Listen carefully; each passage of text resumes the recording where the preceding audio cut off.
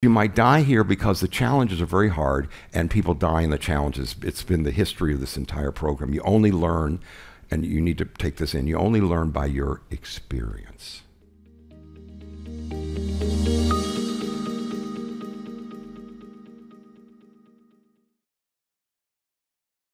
So, what were the techniques? What did he have that was so useful? Well, why shouldn't you be able to be like this all the time? Why shouldn't you, why shouldn't you be able to pull it together and hold yourself in that position? And do that to, in, in every age group. There is no limitation on what you can do, but how did I get this stuff to the information so that you could start to do this yourself and Vishen can do it? How can I get you these techniques at 20 minutes a day? Well, so while I'm working in China, it was fun. I'm doing surgery, but I still didn't have what I wanted. Do you imagine what that's like after seven years and spending everything you've got in 160,000 miles and you still don't have what you wanted? I didn't know Vishen then. I didn't know anybody. I was just a guy, just like you are. You ever wake up in the morning and feel like you're all alone? Yeah, really? You're talking to yourself? I was just alone. I still didn't know. But I was working in the hospital in China doing surgery, and finally I saw this book in the library where this, this Grand Master is treating people with his finger from a distance. And I said, ah, this is what I want. He's able to give energy. This is the thing that I know really will help people. So I ran to the head of the hospital. I said, You got to let me meet this guy. He went, Impossible. Impossible. He said, You are a Gui Lao. Do you know what Gui Lao is? Anybody here speak Mandarin? Foreigner, worse than foreigner. You're a ghost. In China in those days, you're considered not okay. We are okay. Remember, China was insular then. So we know everything. We don't want outside people, so you're called a foreign ghost, a white ghost, something bad. And so I said, Well, yeah, but I'm doing all this good work here. He says, We know, yeah, and you don't take any payments, so you've got a lot of rapport with everybody, but you're not going to get to meet him. And plus, the Grand Grand Master lives at the to- top of the mountain, and there's no way to meet him. And there, it's it's some people even back then, this is 25 years ago, have to pay ten thousand dollars. Can you imagine just for one visit?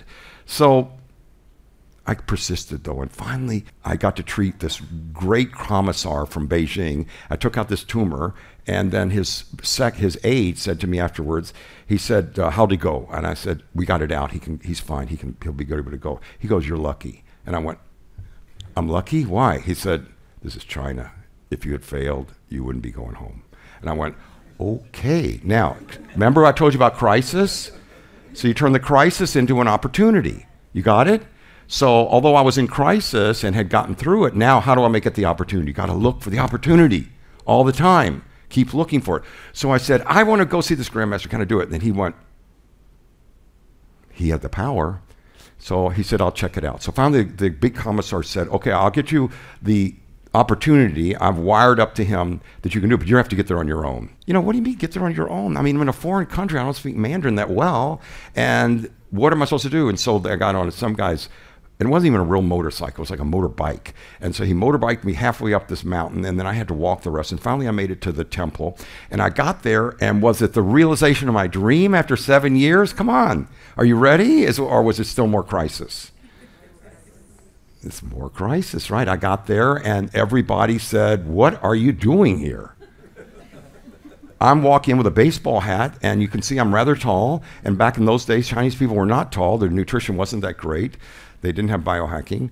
And so most people were about here. And so I walked in, and Grandmaster was tall, but everybody else was short. And they said, you, sh- you shouldn't be here.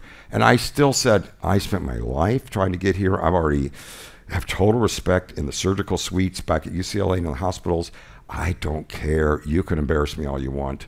Who cares if you get embarrassed if you're learning, right? So I didn't care if they didn't like me. And they didn't. And I didn't say anything. You ever not been liked and you didn't say anything? So I just walked in, but still, I sort of, it was, I was treated sort of like a stray dog. And, but I stayed there and I slept wherever I could sleep and I got food whenever I could. And finally, I got to watch him do things. And what I saw him do, would you like to hear some of the things he did? I saw him heal things from a distance where, you know, in the emergency room I can sew you up. But he would go like this and you'd see the wound, just like in the movies, zip, just like in Doctor Strange and in and when you see things like when he put his hands through the wall in uh, the Matrix movie, you know, I'll tell you about how that worked out. But I saw him treat people with cancer that, uh, and as a doctor, I'd done research. So I, I said, well, really, this guy's supposed to be on chemotherapy and everything. No, he can't do it. He's too sick. And then I saw him come back because I kept coming back uh, every few months to, to work with him and watch him because he said finally I could take notes and I could learn from him. But he was never friendly. He was never friendly. Neither was anybody else. His lieutenants, he was very competitive. And so um, I saw him fix a guy who had a shoulder that was broken in 14 places from uh, falling out of a building. And they said, You can't even lift a shoulder. And just by giving him the energy, I saw the bones over each time that he treated him finally go back into position. And then finally went back to work. He was able to lift heavy things. I saw people not only with cancers get healed, I saw people with uh, major, major emotional problems, you know, anxiety where, you know, they were just shaking like this and he would just go, and the person would calm down. And they'd be completely relaxed. And then they would stop. And they would stay. He would give them exercises, like I'm going to give you exercises. We've got them all, all this program for you, that they could do at home, and then they could they didn't have to take medication, which was a big joy for me because I was tired of as you all finally are, you can imagine I'm 20 years ago doing saying I'm tired of big pharma. I'm tired of people having to reach outside themselves. I'd like for them to do their own practices. And so we saw people who who were so uh, not only emotionally sad, but also had trouble with their joints. And one guy came in with his leg was about this much shorter than the other leg. And so I said, "This is impossible. There's no way you're going to fix this."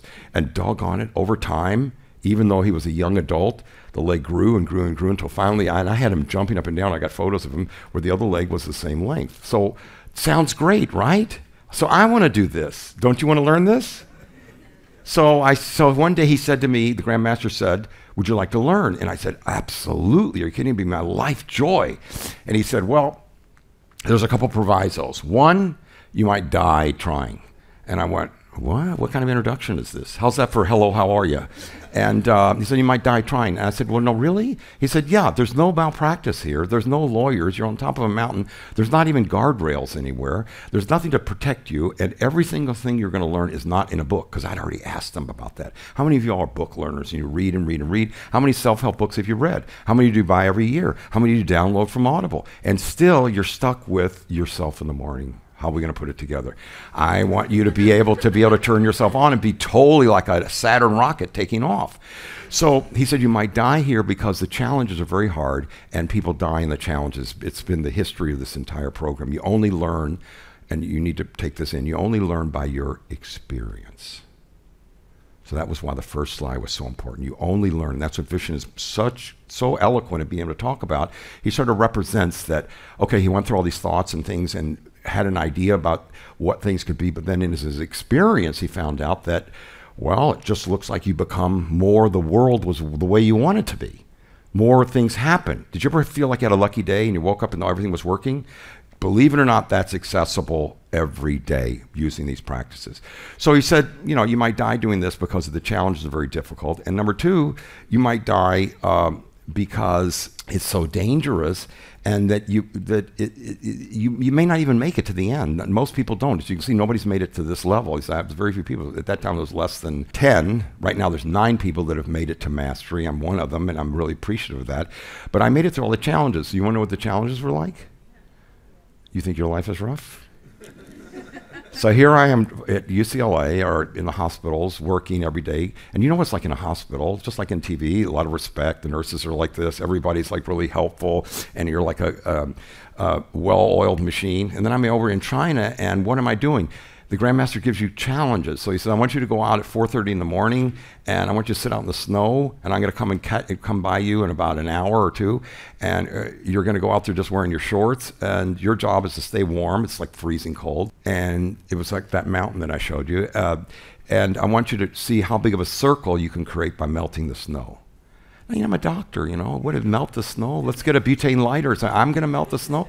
But what he did was he gave me all these practices to do, and I found that you could generate enough heat, you could generate enough uh, energy coming through to your body that it's possible for you to melt all that snow. It was amazing. And then one time that I was there with him, then I slid all the way down the mountain, and uh, I broke my hand. Okay, and so I took my hand to him, and I said. Um, my hand's broken and I'm a surgeon. And he said, What are you going to do about it? And I went, okay, here we go. You might die again. And so he gave me the uh, exercises, and people have seen me do that since then when I have broken bones to treat. And I actually was able to treat it just like I'd seen him treat people until all the fingers and everything was, you know, working perfectly again. Not only that, he had me go out and once go to this island. You'll like this story. This is too freaky Friday. I've never told you this one. He had me go to this island that's near uh, the coast of China. And um, first place, I don't speak that good of Mandarin, so it's hand signals in my dictionary. Uh, and um, he says, You're going to this island and you're going to go out into the forest. Forest? Great. Did I bring bug spray? No. So there was 10 trillion mosquitoes there. It's all, you know, just like Tarzan, all this terrible humidity and everything. And he says, What I want you to do is, I want you to find this path. I'll give you the map. You find the path. And after you get to the path, I want you to get to this tree. This one tree overreaches this lake. And I want you to get up on that tree, but you have to be there exactly at this time. So I said, oh my gosh. So I, what I did is I got there very early in the morning and I finally found the path as I'm going up there, but the mosquitoes were just impossible. I mean, I was bitten everywhere. And finally, when I climbed up the tree and got on the branch, was some relief. I finally was overlooking this lake like this, so that because he, he must have known about that. And he's all the way in another province, okay? Now, why does he want me to see what I'm about to see? Because he wants to show you that there's no and of course they've recently discovered this, but I learned this 20 years ago. There's no distance between us. There's none. Now they finally found about entanglement that uh, molecules that roll together, or it doesn't matter where you are on the planet, that you can affect them on the other side of the globe. He wanted me to see that the energy and your intention not only can have your body work, but can help other people, people in your family, whatever. So I'm leaning over this uh, big branch over the water like this, itching like crazy, and then all of a sudden this big explosion from the water goes up like this. And the water goes up and forms like a dragon. And I went, wow. And then, of course, after that, I was like almost stoned. And then I just meditated on the thing. But he wanted me to realize that even though he's over there, he can help you over here. Even though you're here, you can help your body that's here. The energy and your distance between uh, you, as Einstein said, is time solid or is it movable? Movable? Is distance something we just make up? Or is it something that actually you can traverse many distances depending on what your speed is, what your being space is? Okay?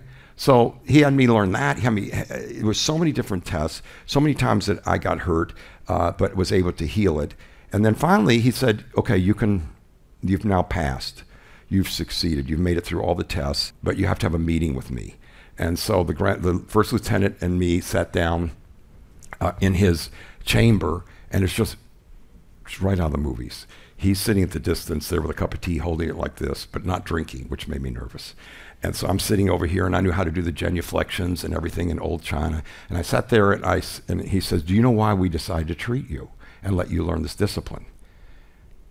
And I don't know if you all ever have this moment during your life, but you're in front of somebody that you want to tell them the right answer, it's one of those Zen moments, and you respect them, and you can see that they've got magical abilities, and you'd like for them to really appreciate you, but you don't know the answer, right? I really don't know the answer. And in Zen, you learn to say all kinds of things like, you know, do funny things or make up something. And so I was going, maybe he wants me to say because he wants his son to get into medical school at UCLA. Maybe I should say that. I knew I had one chance. Uh, maybe um, he wants me to show the technique where I can knock something off the wall just by sitting here, just by sending an energy bolt over there. You know, telekinesis, which was something that's not that difficult to learn. Uh, maybe he wants me to do this thing which um, I had learned quite a bit, which is he said here. Finally, we got up to four-inch rocks, which I had. That was one of the last things I had to learn, which is to be able to break a four-inch rock multiple times, but not with a karate chop. To break it just with energy, just lightly put your hands on this and then you move three inches and then the energy goes through. Now, how do you how are you able to do that? Because I thought maybe that's what you want to do. Well, because you have to get in the state that there is no reality. There's no solidity. It's what you say it is.